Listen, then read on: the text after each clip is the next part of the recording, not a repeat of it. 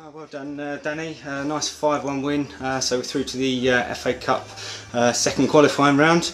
Um, you were quite critical of your uh, your team during the week. Uh, weren't too happy with the performance. Uh, you must have liked what you saw today. Yeah, hundred percent. You couldn't ask. That was that was a performance. Um, you know, uh, from start to finish, we was dominant.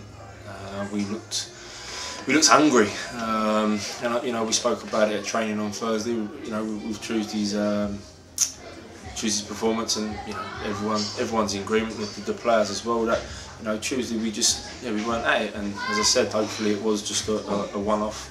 Um, and yeah, it looks like it was to be because I say today was a total opposite of Tuesday, uh, and we just dominated in, in every every area of the pitch. And I think you know I don't really want to pick players out. If I was picking two out today, um, Fabian Sims and Alex Reid for me was uh, was exceptional. But everyone, there wasn't a bad performance on the pitch. Everyone did their job. We looked solid. Uh, you know, I know I know they've got one. Um, and you could probably pick at it, but you'd, you'd, be doing it for the sake of it. It was just an all-round great performance. Couldn't ask anything more.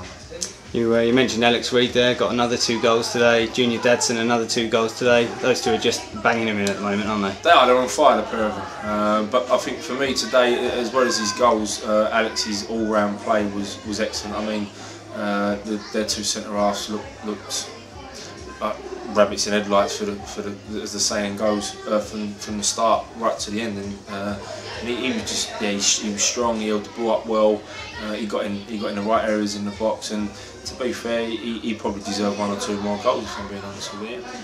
And uh, talking about deserving goals, Craig, Craig Pope was uh, up there with what, what looked like a perfectly good goal, disallowed it, I think, for a push. The referee I said. I, I, can't understand, you know, why he disallowed it because even their players was walking out. You know, there was no sort of appeals for anything, um, and he's obviously seen something. Uh, it would have been nice uh, for Pope to get on the score sheet because again his, his performances uh, have been very very good so far this year. But it's, it's just one of them things. It's not something that I, I, would I would imagine that anyone will be thinking about in an hour's time. To be honest, so uh, yeah, it's, it's not a problem and uh, sort of looking forward then to the, the next round.